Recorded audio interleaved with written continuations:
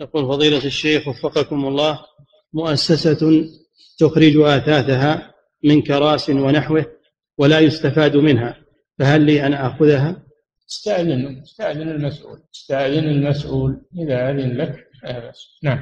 يقول فضيلة الشيخ وفقكم الله إذا دخلت المسجد وكان الوقت إلا إن كان هي ملقاة في الزبالة أو في الشوارع ملقاة خذ منها. أما إذا كان ما ألقيت وإنما أخرجت وجمعت في مكان لا تأخذ منها شيء إلا بإذن المسؤول. نعم.